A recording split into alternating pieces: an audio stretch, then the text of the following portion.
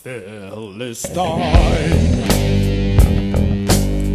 You are the servants of King Saul. I challenge you to fight.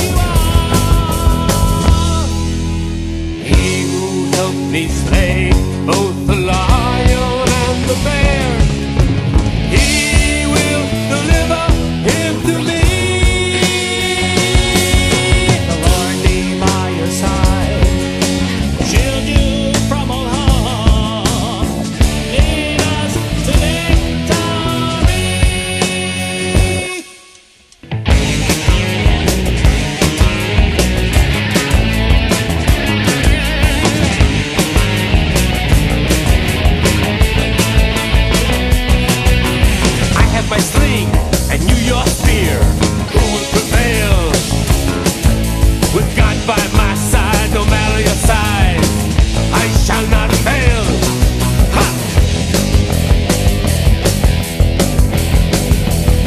Who do you think you are?